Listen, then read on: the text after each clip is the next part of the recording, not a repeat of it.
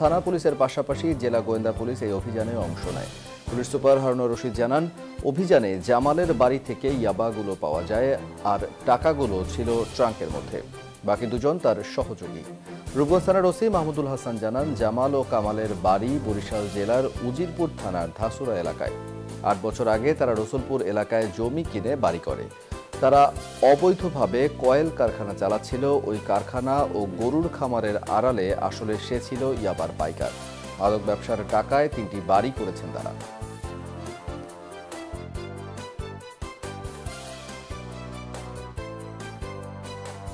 ইয়াবাও পেয়েছি কিছু, আবার তার সাথে আবার একটি বস্তার মধ্যে।